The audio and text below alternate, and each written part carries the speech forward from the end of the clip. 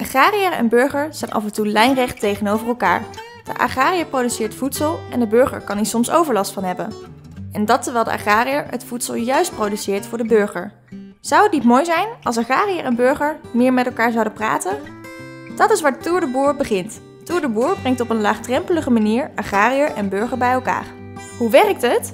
Tour de Boer is een tour van enthousiaste agrariërs die wat te bieden hebben. En dit kan van alles zijn. Bijvoorbeeld een mooi product, een bedrijf op een prachtige locatie waar mensen kunnen picknicken, een boerencamping, een landwinkel met verse producten van het land, noem het maar op. Deze enthousiastelingen komen naar je toe. Ze komen naar de stad met het enige echte Tour de Boer terras. Een terras waar je je als burger even midden in het landelijk schoon waant, compleet met eerlijke hapjes en drankjes. En doordat de agrariërs dit voor je meegenomen hebben, kunnen ze er ook nog eens heel goed over vertellen.